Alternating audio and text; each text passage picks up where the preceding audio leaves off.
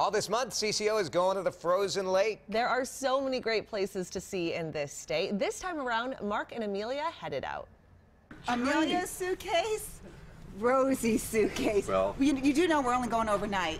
You do know we're only going overnight. After packing the mobile weather watcher yesterday, the two headed about an hour north of the Twin Cities to Mora. And here's what they've been up to.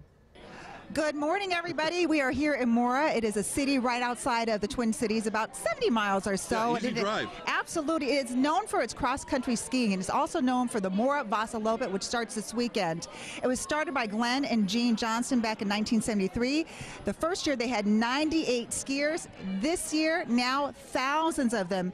Put together by 700 volunteers. It is really a community effort. Everybody comes together. The race day is this Saturday. And one of the big results of this is this Fast Tracks program. Really cool. They start this, uh, skiing early here in Mora.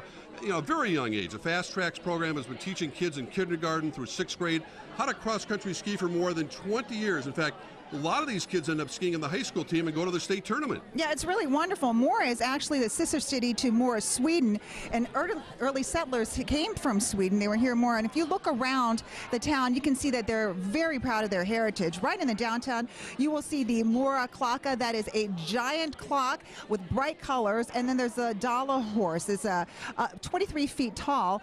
And uh, obviously, the small souvenirs are much smaller. The Dala horses are much smaller than that. We got a very busy day Yeah. ahead of us today, too. We're going to be doing a, a fat tire bike race and spark sleds, which I'm kind of intrigued. I guess we could do our grocery shopping using those as well. Yes. I'll find out about Any that. kind of shopping. Yeah. You know I'm all up for that. She likes to shop. We'll see you later. So it's not all about skiing in Mora. That they have other things that they're going to be doing today, as you saw. And yesterday they had a guide, Julie Lane, take them out on Knife Lake to go ice fishing. Yeah, dog Buddy. See Buddy there too. A lot of trash talk going on in the ice house. Oh yes, you gotta. As you would imagine.